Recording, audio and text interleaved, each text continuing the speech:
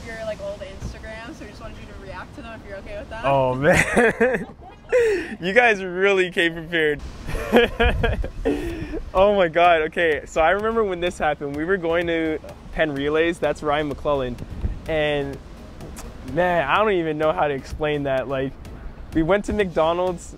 Obviously, that's not the real Ronald McDonald. That that was just a statue, and for some odd reason, we just wanted a picture with him.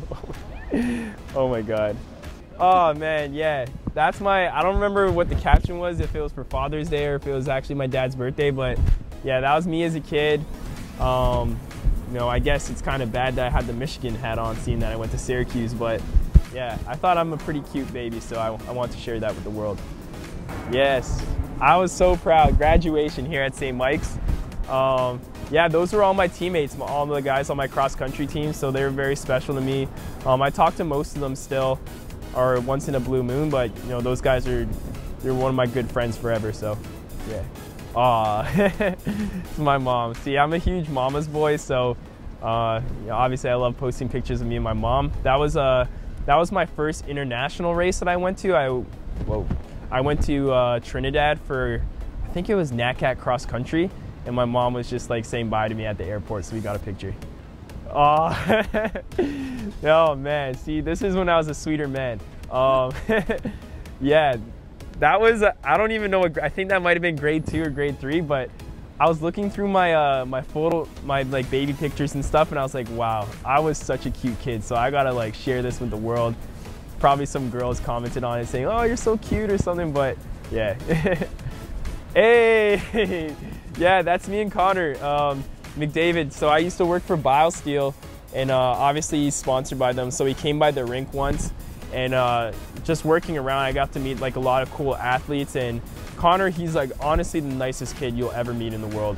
Um, I walked into the locker room immediately, started talking to me, asked me about what school I'm going to, what I do, uh, like if I do athletics and what, what school I go to. And he automatically said like from now on he's going to cheer for Syracuse. So he's a really nice kid. Oh my god. oh my god. See, I need to delete some of my Instagram photos. so yeah, that was taken inside the Syracuse airport.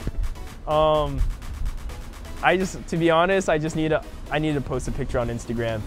And we saw Johnny Rockets and that's my boy Freddie. He actually, he runs for Team USA. He's a really good hurdler.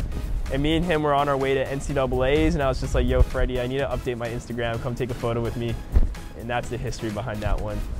Okay, yeah, so like everybody was giving me, uh, actually not everybody, but some people were giving me a hard time saying that my jersey's backwards, but they don't know, like back in like the 90s and stuff, that was the style. So I figured I got an autographed uh, Shaq jersey from Reebok. So when I came out here to do a photo shoot, I figured that I could take a couple cool pictures. So know, I just took that photo and I thought it was pretty cool.